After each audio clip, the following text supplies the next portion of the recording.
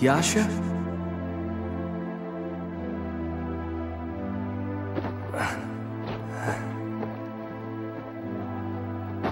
Your wife.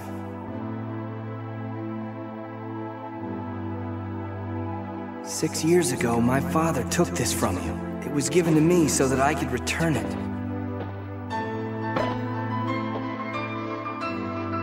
At that moment, I understood. This wasn't just some monster. It was an ancient being as complex as any other, bearing the weight of a culture whose rituals and ideals flourished and withered long before humanity thought to give it a name. Thanks to you, I've grown not only in strength, but in wisdom. Forgive me for misjudging you.